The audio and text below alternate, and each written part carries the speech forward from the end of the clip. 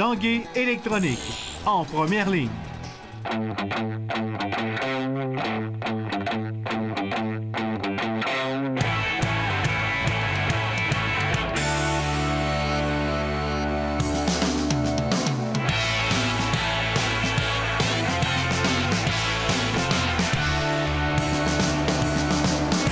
À tous, bon mardi. Bienvenue à l'Esprit sportif dans l'émission aujourd'hui. Deux athlètes qui ont marqué leur sport dans la grande région de Québec et qui sont maintenant à la retraite. Un peu plus tard, on rencontre le boxeur euh, Kevin Bizier. Mais d'abord, aujourd'hui, annonce de la retraite euh, de Dominique Maltais après cinq globes de cristal, 15 victoires, 38 podiums en 77 départs et deux médailles olympiques. Elle tire sa révérence du snowboard.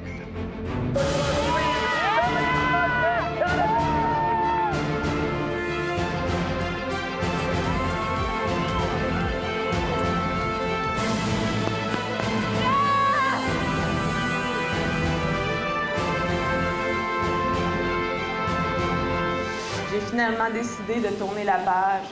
Il est maintenant temps pour moi de me fixer d'autres rêves. Dominique Maltais, bienvenue à l'Esprit sportif. Merci, merci. Dominique, euh, annonce importante pour toi aujourd'hui. Ça remonte à quand la décision d'annoncer cette retraite euh, du monde du sport? Écoute, ça remonte pas à si longtemps que ça. J'ai vraiment essayé euh, plus que je peux de revenir en forme. Comme je l'ai dit, pour moi, c'était une passion. Euh, par contre, euh, la santé, veut, veut pas, c'est un élément qui est extrêmement important dans, le choix de ma décision. Euh, plus d'autres éléments aussi là, qui, ont, qui ont entré dans la balance puis qui ont finalement ont fait pencher ma décision sur le côté de la retraite.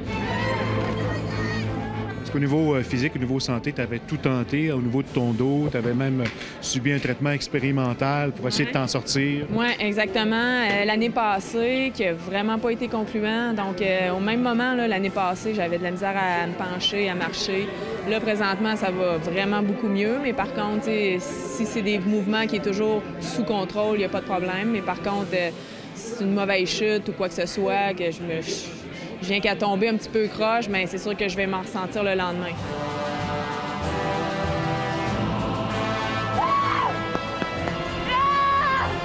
Un moment particulier que tu gardes en souvenir? Euh, Il y a tellement de beaux moments. là. Euh, c'est sûr que les victoires, écoute, c'est, euh, tout le temps vraiment le fun. Sochi était un, un- moment extraordinaire aussi. Mais comme je l'explique souvent aux gens, le fait d'avoir évolué, d'avoir poussé le sport, puis de, l'avoir surfé la vague de progression pendant aussi longtemps, puis d'avoir poussé le, le challenge puis le niveau chez toutes les filles, ça, je suis extrêmement fière de ça. Un rêve de, petite fille. Je me voyais être une des meilleures planchistes euh, quand, j'ai commencé à faire de la planche à neige. Je, m'imaginais, dans mes rêves les plus fous, c'était ça. Euh, j'ai réussi à l'être pendant des années. J'ai été sur le circuit de la Coupe du Monde. J'ai vécu de ma passion pendant des années. Puis ça, je serai, je serai jamais assez reconnaissante. là. 11 saisons sur la Coupe du Monde, on parle d'une belle carrière. Est-ce que tu as l'impression que tu as influencé plein d'autres jeunes filles à faire ton sport, à pratiquer le snowboard?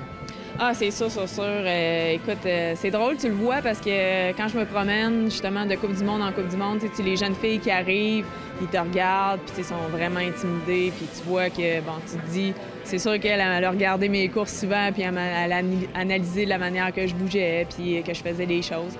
Mais, euh, tu sais, c'est- c'est pour ça que je le fais, puis c'est pour ça aussi que pour moi, c'est important de rester impliqué dans mon sport, euh, dans ma discipline, essayer de partager ma passion, mes expériences, puis si ça peut influencer une jeune ou un jeune, ben ça sera déjà ça de fait. Fondé l'Académie DM Oui. et c'est là que tu veux redonner euh, au suivant.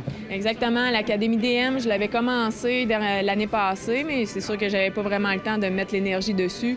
Par contre, euh, ben, pour y aller vite, vite, là, il y a quatre volets. C'est les conférences euh, que je veux commencer à donner euh, encore plus, euh, plus précisément. là. Offrir un forfait aussi euh, snow, donc un petit cours là, de perfectionnement le matin, plus la conférence. Euh, J'ai encore mon partenariat de, pour la concentration sport de glisse euh, au Collège des Hauts-Sommets. Je veux offrir des camps de perfectionnement, là, autant pour les jeunes et les moins jeunes dans les stations de ski. Puis euh, le volet aussi entraînement physique, euh, plus ça va, euh, plus j'y mets du temps, d'énergie aussi. Dans cette après-carrière-là, il y a une autre passion, euh, celle de pompière. Quand je reçois l'appel de la centrale qui me dit bon, qu'est-ce qui arrive, le petit côté adrénaline, prendre des décisions vraiment tac au tac, rapidement, puis il faut que ça soit des bonnes décisions. J'adore ça. C'est vraiment un côté qui vient me chercher, puis beaucoup d'adrénaline, c'est sportif aussi en même temps. Il n'y a pas de routine, donc ça, ça, se rapproche beaucoup du snowboard cross, puis j'adore ça. Qu'est-ce qui va te manquer de cette carrière d'athlète? Euh, les voyages, les personnes aussi, l'atmosphère, euh, mes coachs, euh, les coéquipiers, les coéquipières, les gens rencontrés sur le tour, les, les, personnes qui ont des auberges qu'on allait voir à chaque année, skier des grosses montagnes, la poudreuse jusqu'au, jusqu'aux cuisses, tout ça, tout ça, l'adrénaline tout, tout, tout, tout. Ça va faire un gros vide, mais on va essayer de, combler le tout euh, les prochaines années.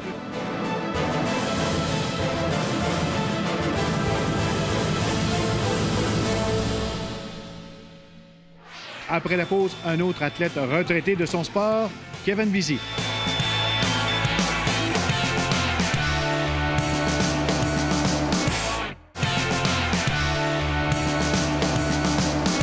Retraité du monde de la boxe depuis euh, juillet dernier, après 28 combats professionnels, Kevin Bizier demeure quand même dans le monde de la boxe comme entraîneur au club Le Cogneur.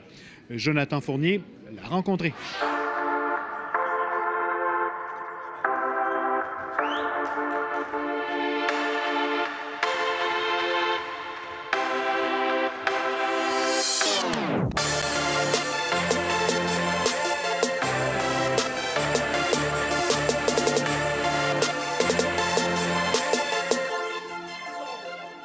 Kevin, d'entrée de jeu, on prend des nouvelles de ta santé. Comment ça se porte en ce moment? Très, très bien. La santé, là, pour de vrai, je recommence à me mettre en forme, puis tout va bien. Là. Puis là, j'entraîne le monde en plus. Toute la pré-opération pour ton œil, ça a bien été? Très, très bien été. La récupération, c'est 100% ou combien? Non, non, peut-être pas 70, mettons, on va dire, à peu près. Et là, Brooke, là, oh, le Brooke ouvre la machine, et là, les coups puissants. Et il fait ça maintenant, deuxième combat. Est-ce qu'on a un peu encore euh, sur une cassette là, qui roule en tout temps ton dernier combat de championnat ah, non, non, vraiment pas. D'ailleurs, en crime. on est vrai, on est beaucoup plus là. J'entraîne le monde, je m'amuse ici, puis j'entraîne euh, les, compétiteurs pour le, pour le fun, pour euh, m'amuser. Puis, regarde, je triple là-dedans. puis des fois, je fais des circuits avec eux autres, puis je, je m'entraîne avec eux. Il est arrivé il n'y a pas très longtemps, deux, trois mois, puis ça a vraiment cliqué. C'est un coach qui prend soin de moi, puis j'aime, j'aime comment il enseigne, j'aime sa façon de penser. il me laisse beaucoup, me laisse beaucoup de liberté dans mon style de boxe. C'est ça que j'aime aussi. Puis les entraînements sont vraiment intenses, sont faits aussi pour moi. Des fois, il y a des entraînements spéciaux pour moi, pour des exercices, euh, pour améliorer par exemple la stabilité des fesses. Toutes ces affaires-là, j'aime vraiment. Euh, le, lien est très fort. Jab, jab, jab.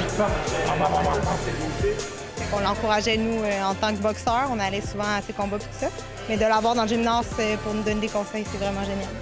Comment tu t'es senti lorsqu'il t'a donné tes, premiers conseils?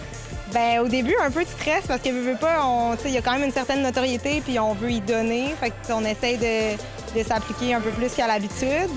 Pas qu'on s'appliquait pas quand c'est les autres, mais c'est sûr que c'est gros d'avoir Kevin Didier dans le gymnase. Fait qu'on écoute euh, ses conseils à la lettre puis on, on essaie du mieux qu'on peut. De toute façon, c'était dans tes veines depuis ben là, avec mon père et mon frère qui sont mon entraîneur, c'est sûr. De... je fais le trip. Tu sais, j'ai dû je vais venir ici pour m'amuser des deux, trois fois par semaine. Puis euh, c'est le fun. Pour l'instant, je tripe là-dedans. C'est Rémi, son père, bisiers, c'est là on le connaît. Dès que je suis rentré là, je le savais déjà que c'était busy et tout. La première fois que je l'ai vu, c'était dans un galop de boxe, puis je venais juste de me battre, puis il m'a dit, tu préfères plus, mettons, plus de jab ou ben des choses comme ça. Puis après ça, ça m'a aidé, puis j'ai comme utilisé ces trucs un peu plus, puis ça faisait une grosse différence dans le ring. Puis ici, dans le ring, c'est le fun de pouvoir avoir les conseils presque au quotidien. Là, Ah oui, c'est un, un, professionnel, puis ça apparaît, là, il nous montre des trucs euh, que genre d'autres coachs ne pourraient pas montrer, puis ça apparaît après ça euh, sur le ring. Ça va là, par contre, je vais être prêt. Boum, boum, un temps. Rentrer à l'intérieur, faire mal. Protection. Parle-nous un petit peu du déroulement de tes semaines. Comment ça se porte de prendre un beat de, de, de gars qui travaillent, de salariés? Ah, mais là, c'est sûr que c'est pas la même chose que l'entraînement. Tu sais, Il y avait plus de temps pour toi, plus de temps pour le repos parce que tu t'entraînais. C'est plus dur physiquement, mais c'était pas la même. euh, C'était pas la même chose. Pas de pré- Il y a la pression de la job, mais c'est pas la même pression qu'un combat de boxe. T'as pas le droit de perdre, t'as pas le droit. euh, Fait faut être toujours à, la- à 110 Mais tu sais, c'est une vie normale. C'est ça, regarde, c'est le fun. Moi, je trouve, là, on voit la famille, c'est vraiment. Euh, comment tu t'es senti lorsqu'il t'a donné tes premiers conseils sur le ring? Ben, en fait, j'étais touché, je peux dire. euh, je savais que qu'est-ce qu'il disait, c'était pas de la boîte. Je savais que c'était vrai, qu'il y avait l'expérience dans le ring, soit amateur, professionnel. Puis j'allais l'écouter, puis en même temps, c'est un super de bon gars.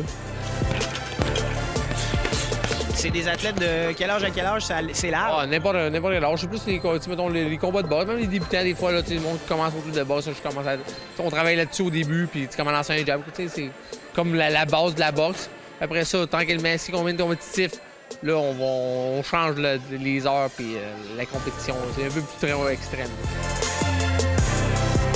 Est-ce qu'il y a quelque chose en particulier qui t'a répété souvent, qui te répète peut-être encore? L'uppercut de la gauche, c'était la, la shot à Kevin, fait que c'est sûr qu'on travaille beaucoup là-dessus. Les crochets au corps qu'il qu'il fait, là, ils ont l'air ils ont, ils ont l'air de faire mal. J'aimerais ça que ça fasse euh, ça avec moi aussi. D'avoir une bonne garde, de- d'être explosif, c'est une de mes forces ici. Puis de l'utiliser euh, à merveille, puis de la perfection. Puis on veut toujours améliorer ça dans, dans le ring. Le jab, surtout le jab. Ouais, on se le fait dire souvent qu'on est boxeur. mais- en tant qu'entraîneur, on le fait aussi.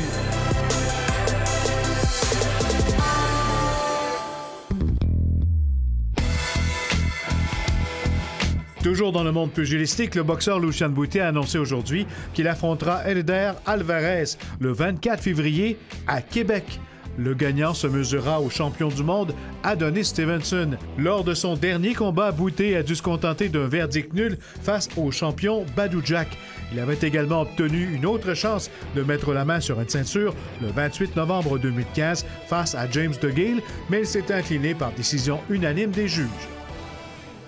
Voilà qui complète l'Esprit sportif pour aujourd'hui. Je me joins à tous les téléspectateurs de l'Esprit sportif pour souhaiter une bonne retraite à Dominique Matet. Bye bye. À la prochaine.